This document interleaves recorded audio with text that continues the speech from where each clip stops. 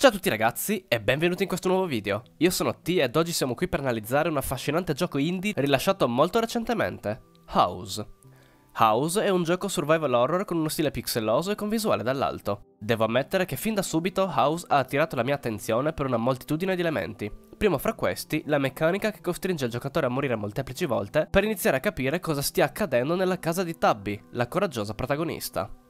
Tabby dovrà risolvere una serie di enigmi utilizzando ciò che ha a disposizione per sopravvivere fino alla mezzanotte, orario in cui suo padre rientrerà a casa. Il compito sfortunatamente sarà reso sempre più difficile da un'infinità di stranezze che andranno ad aumentare col passare del tempo e porteranno ogni membro della famiglia ad una morte spesso molto cruenta. Per ricostruire la storia di House bisogna tornare al 2016 e più precisamente al 30 ottobre di quell'anno, giorno della pubblicazione da parte della Bark Bark Games della versione flash del gioco in onore di un Game Jam. Grazie all'attenzione ricevuta dal gioco e dai premi da esso ottenuti, dopo 4 anni, il 16 ottobre 2020, è stato possibile pubblicare una versione integrale di ciò che era stato presentato durante l'evento. Per chi fosse interessato, è tuttora possibile giocare alla vecchia versione in Flash tramite il Newgrounds Player, mentre la versione completa può essere reperita su GameJolt, Steam o itch.io. Ovviamente ci sono alcune differenze tra la versione completa e quella in flash. Tra quelle più degne di nota possiamo trovare la possibilità di portare con sé un singolo oggetto, l'assenza di gran parte degli antagonisti, la randomicità degli spawn del gatto e la possibilità di sollevarlo e spostarlo a piacimento. Questa versione di gioco inoltre presenta solo tre finali. Ovviamente non ve li spoilererò per adesso, dato che in seguito ci sarà una sezione dedicata interamente ad essi. Torniamo ora alla versione completa del gioco. Credo sia il momento più adatto per introdurre i personaggi principali. Tabby, sua sorella, suo padre, sua madre, sua nonna, Toby, i suoi animali domestici e la vicina. Tabby, il cui vero nome è Tabitha, è la protagonista di questo loop infinito di disgrazie. Lei sarà uno dei pochi personaggi in grado di mantenere i ricordi di ciò che accade ad ogni loop e a modificare il suo modus operandi di conseguenza. Melody, la sorella di Tabby, pare essere caduta in uno stato di profonda depressione, probabilmente in seguito all'assassino di Toby da parte di suo padre. Pare infatti che lei e Toby avessero avuto un qualche tipo di relazione e che il padre di Melody fosse contrario. Alcune delle passioni di Melody sono la musica ed il giardinaggio, ma a causa della sua condizione, tutto ciò che tenterà di fare attivamente o passivamente potrebbe portarla alla morte. Lisa, la madre di Melody e Tabby, pare soffrire anch'essa di depressione, che cerca di soffocare tramite l'abuso di alcol. Anche nelle sue condizioni, però, Lisa si preoccupa per le sue figlie e perlomeno cerca di sfamarle.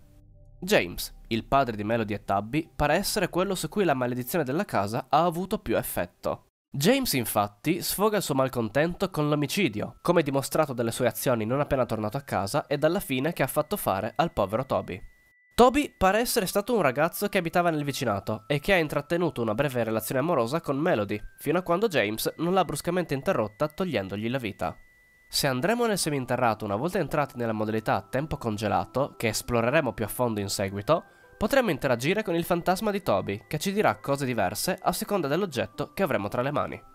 La nonna di Tabby, della quale sfortunatamente non conosciamo il nome, sarà un personaggio passivo che apparirà unicamente sotto forma di fantasma se faremo molto rumore, per esempio raccogliendo e facendo cadere ripetutamente la palla da bowling. L'unica cosa che farà sarà un cenno con il dito per intimarci di fare silenzio, e poi scomparirà subito. Marty è una piccola chiocciolina verde in grado di parlare a Tabby. Marty comparirà nella stanza del pianoforte solo dopo aver fatto morire Tabby almeno 10 volte. Solitamente Marty sarà sempre propenso ad aiutarci, tranne se Tabby dovesse uccidere la vicina.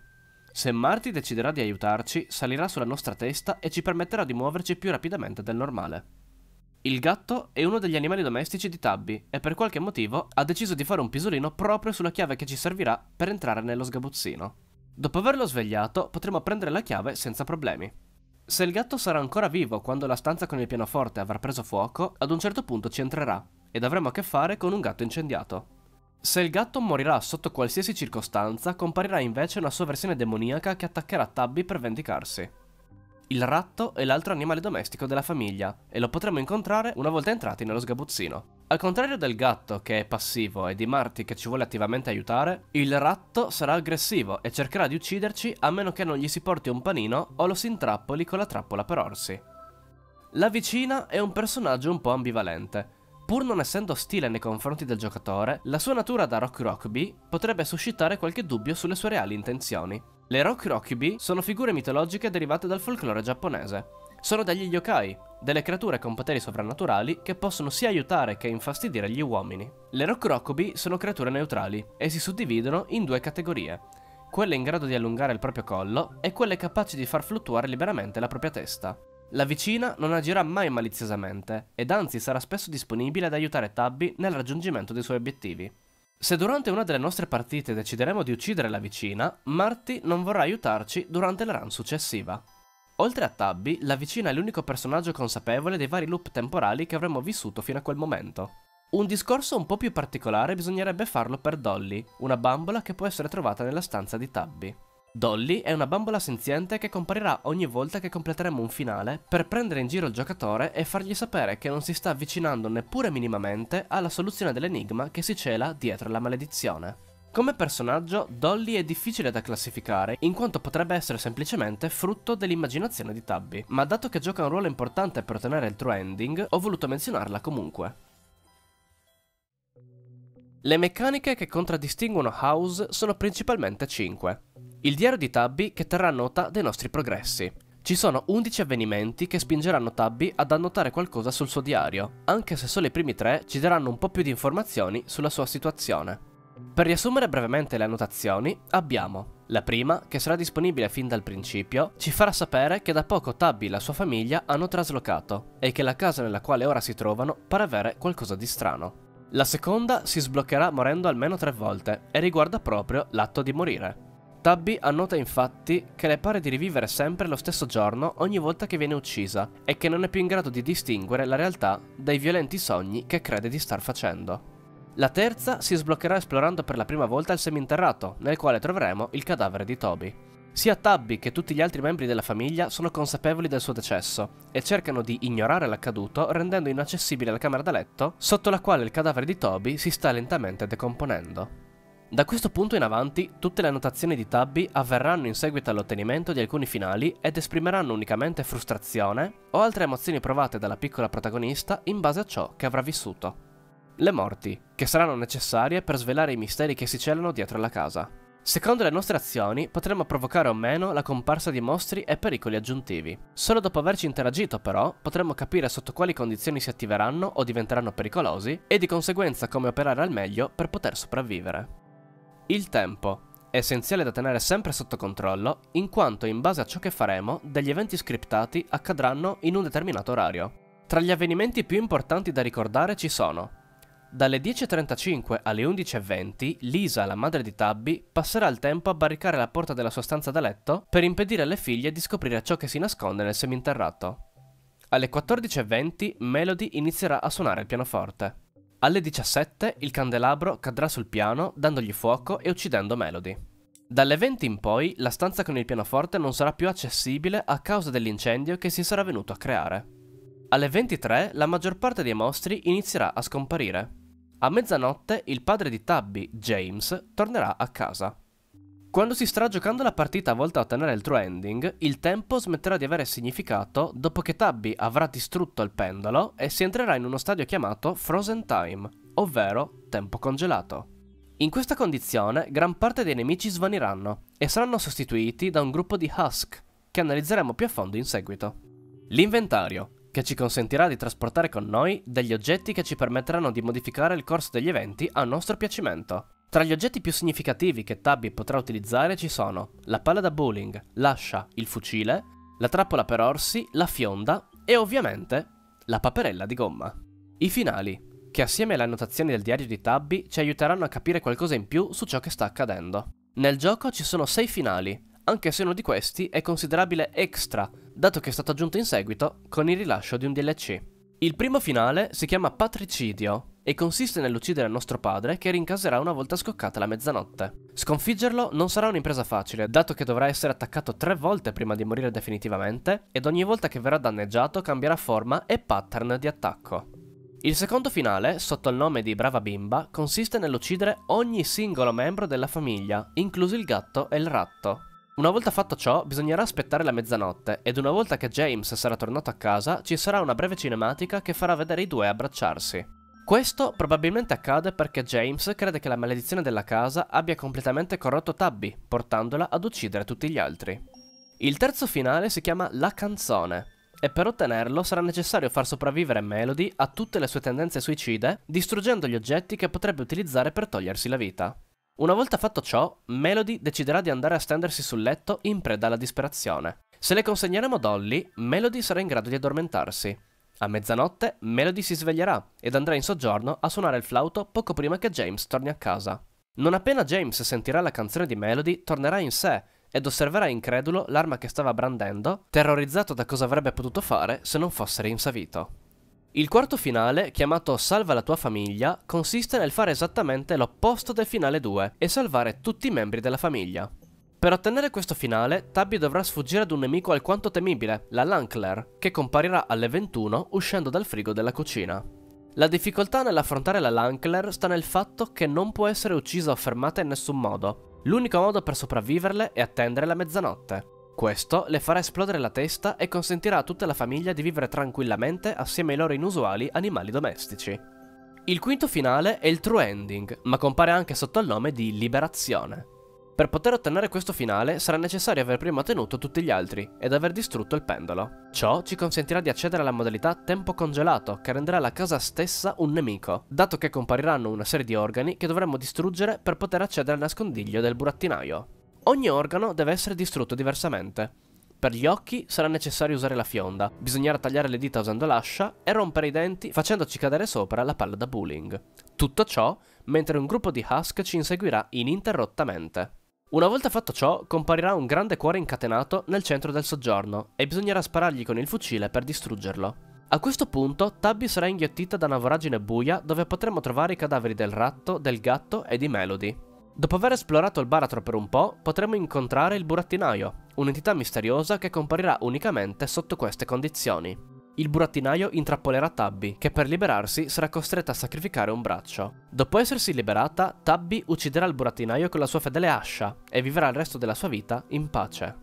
Ottenendo il quinto finale, potremmo anche giocare il secondo capitolo della storia, incentrato invece sulla sorella di Tabby, Melody. Mi piacerebbe conservare questa sezione di gioco per un ipotetico secondo video su House. Fatemi sapere nei commenti se vi interesserebbe vederlo, e magari, tra un po' di tempo, potreste ritrovarvelo del tutto inaspettatamente su questo canale. Dopo aver ottenuto il finale numero 5, nella casa inizieranno a spawnare anche delle rane, che ci permetteranno di ottenere il sesto finale. Infatti, se Tabby ucciderà 8 rane prima della mezzanotte, al posto di James si presenterà il Signore delle Rane, che sarà un boss molto più coriaceo rispetto a James, dato che avrà il doppio della vita.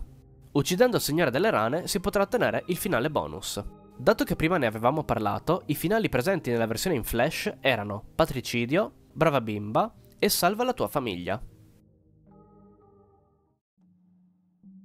Parliamo ora dei nemici che perseguiteranno Tabby durante le sue avventure. Cominciamo subito con l'Akaname, ovvero il mostro che emergerà dal gabinetto. Sarà lei ad incitare Tabby ad uccidere tutti i membri della sua famiglia, Infatti, se Tabby ne ucciderà almeno uno, potrà evitare di farla emergere dai meandri dell'abisso e potrà parlare con lei amichevolmente. Anche in questo caso, per capire appieno che cosa rappresenti la Kaname, dobbiamo affidarci alla mitologia giapponese. Gli Akaname, infatti, sono anch'essi una categoria di yokai abbastanza diffusi nel folklore nipponico. La rappresentazione della Kaname in house è molto diversa da quelle presenti nei testi sugli yokai, però. Nei testi viene infatti specificato che lo scopo della Kaname è solo quello di leccare la muffa e la sporcizia dagli ambienti umidi delle abitazioni, come ad esempio i bagni, per ottenere le sostanze nutritive necessarie per sopravvivere. Solitamente gli Akaname sono descritti come minuti, con arti artigliati ed una testa sproporzionata rispetto al corpo. La Banshee compare nella stanza dei genitori di Tabby una volta passate le 17 e non può essere ferita o uccisa in nessun modo. Se Tabby dovesse rimanere nella stanza troppo a lungo, la Banshee inizierà a correre rapidamente verso di lei per ucciderla. La natura della Banshee si rifà stavolta al folklore irlandese. Il suo nome infatti significa donna delle fate ed è una figura mitologica che piange costantemente la morte di uno dei suoi membri della famiglia. Gli elementi caratterizzanti di una Banshee solitamente sono una lunga veste grigia e un'espressione disperata contraddistinta da occhi piangenti. A volte le Banshee assumono anche il ruolo di portatrici di morte e un po' come le sirene cantano per attirare delle vittime sfortunate e portarle alla morte. Molto probabilmente l'apparizione della Banshee proprio nella stanza dei genitori di Tabby non è casuale, dato che sotto di essa si trova il cadavere di Toby. La Lankler è invece il mostro che emergerà dal frigo della cucina. È considerata un boss in quanto è davvero difficile sopravviverle ed è fisicamente molto simile alla Kaname. Sfortunatamente non sono riuscito a trovare ulteriori informazioni sul suo conto, quindi se magari qualcuno di voi è più esperto di me in mitologia, può tranquillamente lasciarmi un commento per spiegarmi che cosa dovrebbe rappresentare esattamente questo mostro. La Sarta sarà un altro nemico che Tabby potrà incontrare. Questa volta non pare essere collegata a nessun folklore specifico ed è un nemico piuttosto secondario. Una volta incontrata la sarta, Tabby dovrà trovare un modo per ucciderla, altrimenti sarà perseguitata da lei fino alla fine della partita. La sarta può essere uccisa più o meno da ogni arma in grado di ferire anche gli altri membri della famiglia, il che fa presupporre che abbia una forma fisica e non sia soltanto una comparsa spettrale. Gli spiriti sono per l'appunto gli spiriti di tutti coloro che non sono riusciti ad infrangere la maledizione e che di conseguenza hanno perso la vita a causa sua e sono stati costretti a vagare per l'eternità nella casa. Inizialmente gli spiriti saranno passivi nei confronti di Tabby, ma passate le 17.30 cercheranno attivamente di porre fine alla sua vita. Esistono due tipologie di spirito, uno spirito uomo ed uno spirito donna, che si differenziano dal colore dei loro occhi, rispettivamente rossi o verdi. Gli spiriti possono essere evitati con facilità e possono anche essere scacciati con la fionda. Gli Ask possono essere incontrati solamente una volta entrati nella modalità tempo congelato e sostituiranno tutti gli altri nemici. Ne spawneranno 5 non appena Tabby avrà distrutto il pendolo nel corridoio, ma potranno essere sconfitti con vari metodi, un po' come per la sarta. Gli Ask sono anch'essi delle figure mitologiche caratterizzate dall'aver perso l'anima dopo la morte. Sono di conseguenza solo dei corpi in decomposizione guidati unicamente da sentimenti e ricordi. Gli Ask prendono di mira solo coloro che sono venuti a conoscenza del loro segreto, con l'intento di ucciderli. Pare che gli Ask siano stati creati da una divinità chiamata Curatore o Cantastorie, la divinità di tutto ciò che è stato dimenticato. Anche in questo caso, non credo che la comparsa degli Ask proprio nel momento in cui si stia cercando di ottenere il true ending sia casuale. Credo infatti che ogni Ask rappresenti un membro della famiglia, uno per Lisa, uno per James, uno per Melody, uno per il gatto e uno per il ratto. Agli occhi della maledizione, ognuno di loro poteva apparire colpevole e meritevole di incontrare la morte. Oltre a tutti questi nemici, in base a come Tabby si organizzerà durante la run, potrebbero comparire anche una versione demoniaca di Melody, di Lisa, del gatto e del tappeto del corridoio. Ognuno di essi compare per vendicarsi con Tabby per averli lasciati morire, e saranno piuttosto difficili da evitare, soprattutto assieme agli altri pericoli che già di base attenteranno alla sua vita.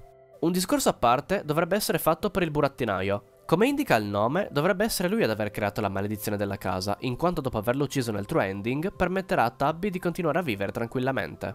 È quindi possibile che si sia venuta a creare una sorta di gerarchia tra mostri.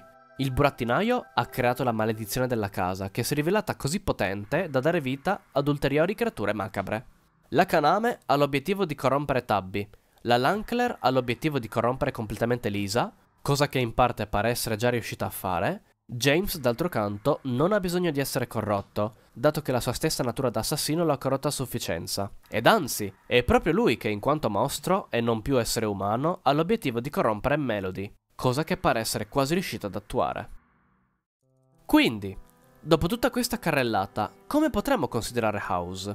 Penso che l'analisi che vi ho proposto abbia evidenziato quali sono secondo me i punti di forza di questo interessante videogioco. Credo che la fusione di elementi appartenenti a diversi folclori sia davvero particolare, ed unita all'art style e alla storia presentate, secondo me rende House un titolo degno di entrare a far parte della libreria videoludica di tutti gli appassionati dei giochi indie horror.